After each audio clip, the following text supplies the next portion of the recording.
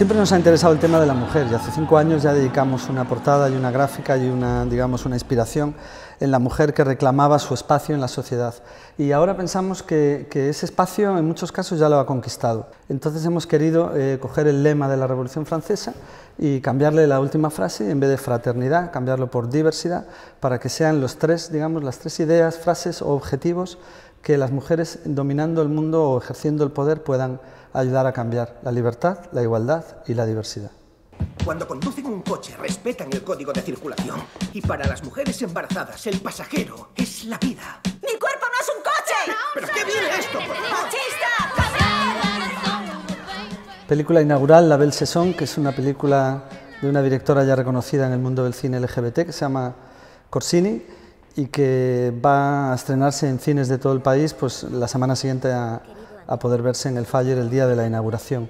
Una película que habla del feminismo y de la revolución un poco cultural, social, sexual de las mujeres en el, país, en el París de los años 70. Muy combativa, muy interesante y que refleja muy bien aquella época que pienso que es muy interesante para toda Europa y en la que se conquistaron un montón de derechos que todavía hoy se ponen en cuestión, con lo cual es una película muy, muy, como diría yo, procedente en estos momentos.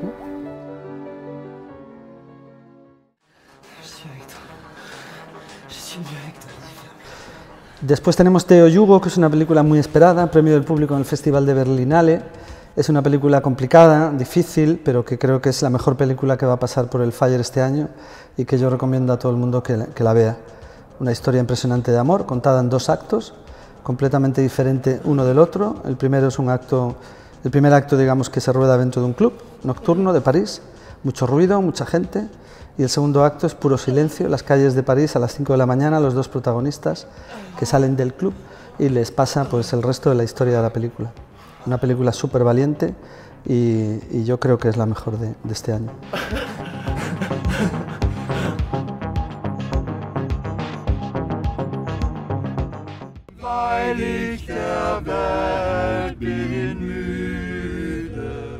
Después está Tomcat, que es una película de Austria, que ganó el premio Teddy en la Berlinale también de este año, a la mejor película de ficción, y cuenta una historia muy íntima entre una pareja feliz que vive en, Austria, en Viena, los dos profesionalmente muy asentados, una vida muy, muy chula, director de orquesta uno y el músico el otro, y que hay un pequeño incidente muy íntimo y muy familiar que rompe toda su relación y que, y que sostiene el drama de toda la película, muy buena también.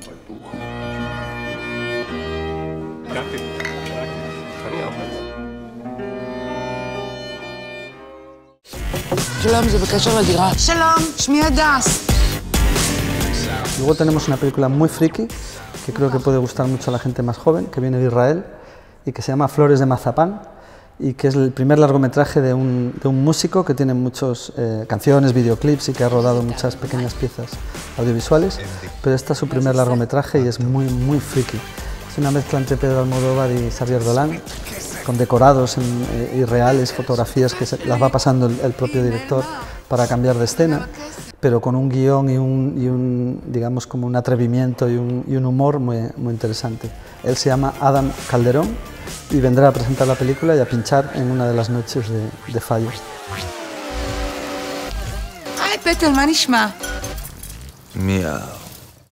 Y luego hay documentales interesantes de muchos países diferentes, de Kenia, por ejemplo, de Sudáfrica, tenemos eh, también documentales de Latinoamérica que cuentan un poco realidades más duras que lo que es la ficción. La realidad de, colectivo LGBT en países difíciles donde todavía tienen que luchar simplemente por, por reunirse o por, o por, abrir un local o por simplemente existir.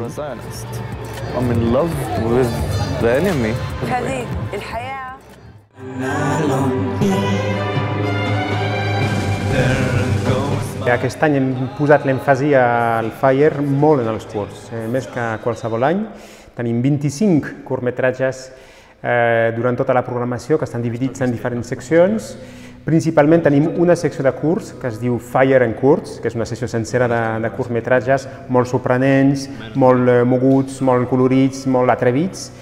Recuperem també la tradició en una altra secció que es diu Més curts al Fire, la tradició de posar curts abans dels llargmetratges. Sí que és una, ocasió molt bona de poder, de, de poder projectar, exhibir eh, pel·lícules fetes a Catalunya, a Espanya.